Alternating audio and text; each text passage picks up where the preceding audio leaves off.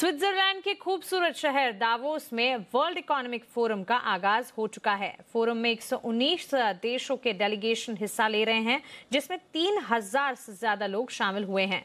भारत की 100 से ज़्यादा कंपनियों के सीईओ और कई राज्यों के मुख्यमंत्री और वित्त मंत्री भी फोरम में हिस्सा लेने के लिए दावोस पहुँच चुके हैं।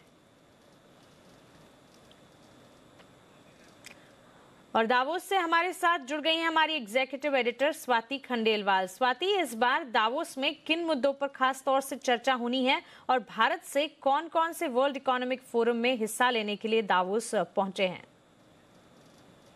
जी हाँ जी बिज़नेस एकमात्र देश का हिंदी बिज़नेस न्यूज़ चैनल जो डावोस में है और यहाँ पर जैसा आप जानते हैं बड़े बड़े लीडर्स ग्लोबल लीडर्स चाहे वो पॉलिटिकल से हो पॉलिटिकल एरिना से हो या बिज़नेस से वो सब यहाँ पर मौजूद हैं और तीन दिन की डेलिब्रेशन हैं डिस्कशंस हैं, बहुत सारे टॉपिक्स जिस पर बात करेंगे, जो ग्लोबल कंसर्न्स हैं सारे नेशंस की, उस पर चर्चा होगी और क्या सोल्यूशंस होंगे उस पर बातचीत होगी। इंडिया की बात करूँ तो इंडिया से भी काफ़ी बड़ा डेलीगेशन एज ऑलवेज आया है।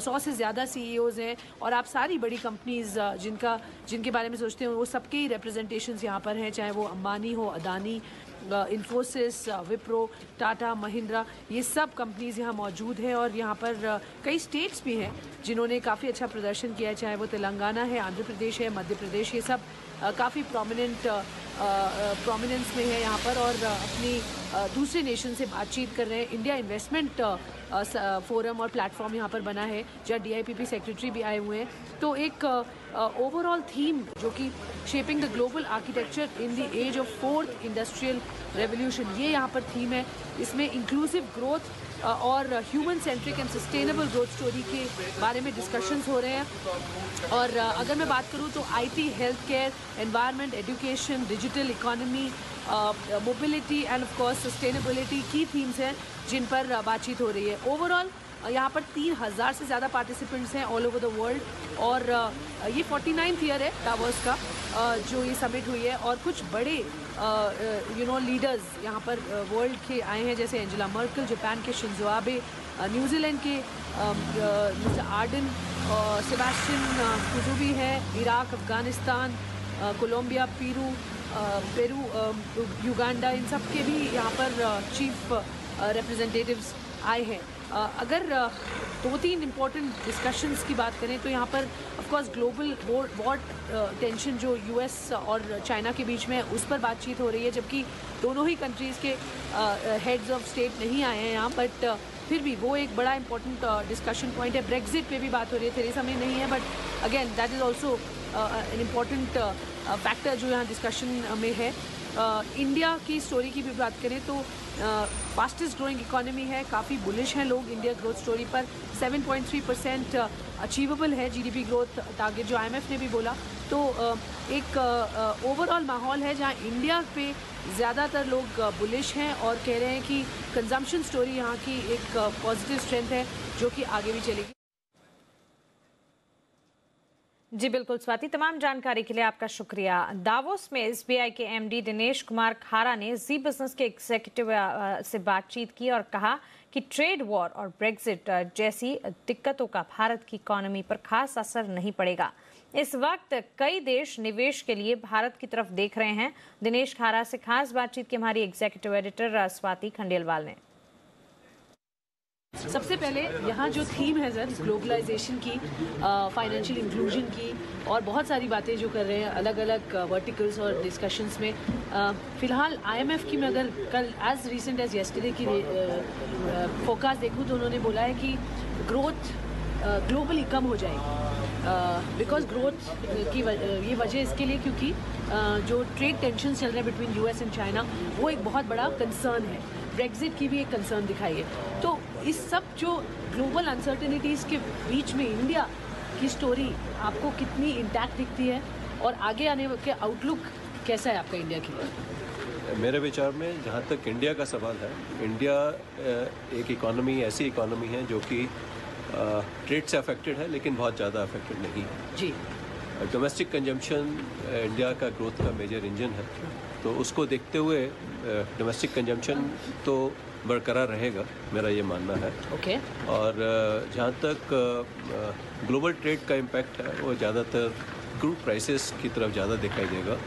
और अगर जहाँ तक वर्ल्ड बैंक और आईएमएफ की रिपोर्ट को देखा जाए तो अगर ग्लोब में अगर इंडिया के एडवांटेज में रहेगा okay. और उससे फ़िज़िकल में एक बहुत पॉजिटिव इम्पैक्ट रहेगा जिससे कि करेंसी स्टेबल रहेगी। जी। ये मेरा मानना है। सर एक और है रिकवरी को लेकर और जो स्ट्रेस एसिड्स है सिस्टम में पावर सेक्टर अभी जूझ रहा है और हो सकता है वहाँ पे और बड़े प्रॉब्लम्स आ जाएँ बिकॉज़ वो R B I February twelfth circular वाला मामला अभी भी चल रहा है। तो उसको देखते हुए आपको स्ट्रेस्ड एसिड्स पर कितना कंसर्न है? Because as a big lender आपके ऊपर भी उसका डायरेक्ट इम्पैक्ट पड़ता है। और एन पी लेवल्स पर भी आपको क्या लग रहा है? आप आगे कैसे यू नो आउटलुक है उस पर? मेरा ये मानना है कि जब एनसीएलटी का प्रोसेस शुरू हुआ था जी। तब जो इकोसिस्टम जो क्रिएट होना था एनसीएलटी के लिए और for that matter impaired assets के लिए हाँ। वो अवेलेबल नहीं था। जी।